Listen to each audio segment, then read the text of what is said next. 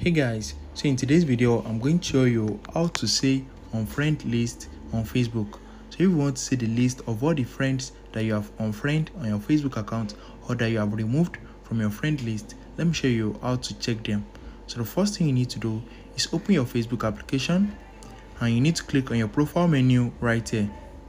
After that click on this gear icon at the top right corner to open your settings once you get to your settings scroll down and you're going to see your activity. Right under your activity click on activity log. Once you click on activity log you are going to see connections right here. So click on this drop down arrow in front of connections and you're going to see friends. So you need to click on this drop down arrow in front of friends also. And after that you are going to see removed friends which is your which is the friend you have unfriend so click on removed friend. And you're going to see all the list right here. So Utuma removed Arolo Akim as a friend. Remove you are going to see everything right here. So just click on these three dots in front of it to delete this notification.